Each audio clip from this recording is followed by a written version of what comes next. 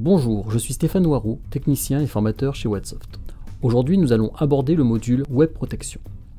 Celui-ci vous permettra de proposer à vos clients une stratégie d'utilisation d'Internet et de renforcer la sécurité des postes de votre parc. Au vu du contexte sanitaire actuel, vous devez renforcer la protection des ordinateurs nomades. Nous verrons dans cette vidéo comment paramétrer une stratégie de protection et l'appliquer sur les différents postes. Je vous conseille de créer une stratégie par client ou par profil d'utilisateur, dirigeant, manager. Dans un premier temps, rendez-vous sur Paramètres, Protection Web, Stratégie de protection. Cliquez sur le bouton Nouveau afin de créer votre nouvelle stratégie. Indiquez un nom pour celle-ci.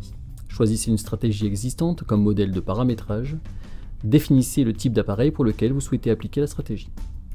Dans l'onglet Général, vous pourrez personnaliser le message de blocage que vous souhaitez afficher.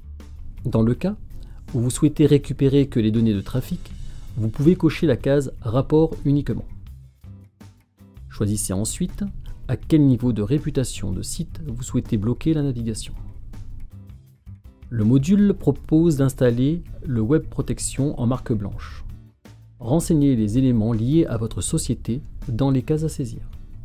Concernant la sécurité web, Définissez ici le niveau de sécurité par rapport aux catégories de menaces possibles afin de limiter les navigations risquées.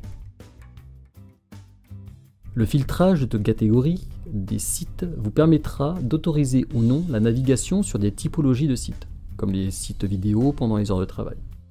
Vous aurez trois possibilités d'action. Autoriser la navigation tout le temps, autoriser la navigation en fonction de la planification que nous verrons ultérieurement, bloquer la navigation tout le temps.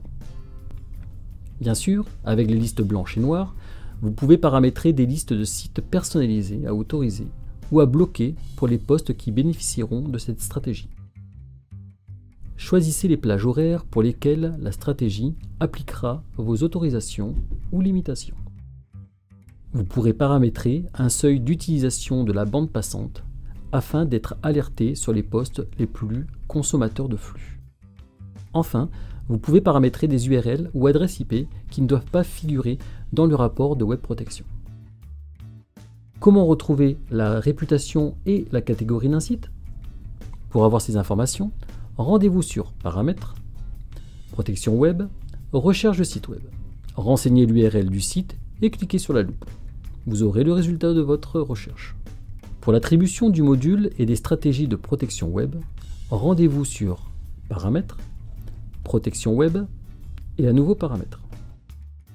Vous pourrez choisir à quel niveau vous désirez appliquer le module et la stratégie, sur tous les postes et ou les serveurs, au niveau d'un client ou plusieurs clients en particulier, au niveau d'un ou plusieurs sites d'un de vos clients. Activez-le et choisissez la stratégie en fonction du type d'appareil. Vous pouvez aussi gérer ce module sur un poste en particulier. Pour cela, rendez-vous sur l'appareil de votre choix, double-cliquez dessus et modifiez les options dans l'onglet Protection web. Maintenant, vos postes sont protégés et vous pouvez avoir les statistiques en vous rendant sur Rapport, Protection web Rapport, Aperçu des rapports. C'est tout pour aujourd'hui, je vous donne rendez-vous à la prochaine vidéo. N'hésitez pas à vous inscrire sur notre chaîne YouTube et sur les réseaux sociaux pour être tenu au courant des dernières informations.